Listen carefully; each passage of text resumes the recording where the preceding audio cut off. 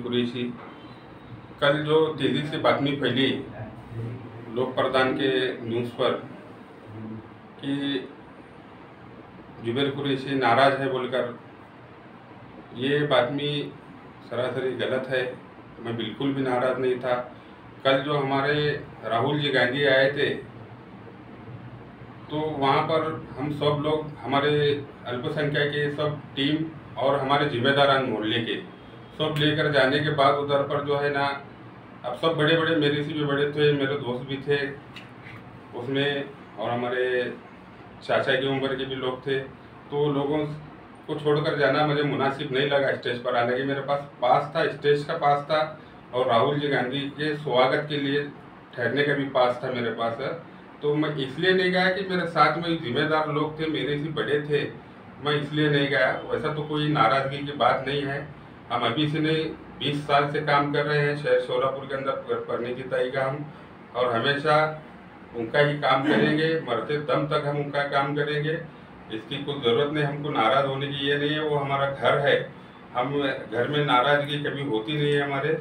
हम सबको ले वो चलते, हमारे को उन्होंने सामान को लेते, हर चीज़ की इज़्ज़त देते, हर चीज़ में हमारे को मिलाकर लेकर चलते।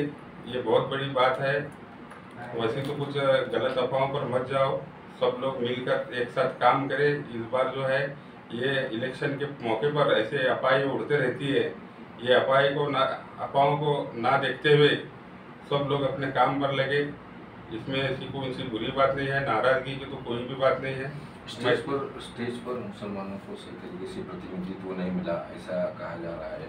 आ, मतलब ठीक है तुमको पास मिला ये बात सही है। आ, लेकिन और कोई तो बड़े जिम्मेदारान जो बुज़ुर्ग जो है अब तुम जैसा कर माइनॉरिटी का कोई भी नहीं करके बता रहे दो लोग थे। एक थे बाबा मिस्त्री जो आमदार इलेक्शन लड़ चुके हैं। फिर दूसरे थे अपने अल्पसंख्यक के जिला अध्यक्ष माजी जिला अध्यक्ष अशफाक बुजुर्गी दो लोग थे स्टेज के ऊपर। मतलब मुसलमानों को स्टेज पर सही प्रतिनिधि प्रतिनिधित्व मिला ऐसा कहना है। फिर स्टेज पर थे ना तो फिर मिलेगा ना राम सातपुती जो है मस्जिदों में डर कर फतवे दिए जा रहे हैं ऐसा उनका आरोप है। क्या कहेंगे इसमें? ये तो खोटा आरोप है ये। ये एक तरफ़ का कैसा है ये? किधर से भी टारगेट बना कर लोग काम कर रहे हैं। कि हिंदू वोट हमको मिलना है वैसा कुछ भी नहीं है। मस्जिद तो अल्लाह का घर है वहाँ नमाज़ की जगह है कुरान शरीफ पढ़ाते हैं।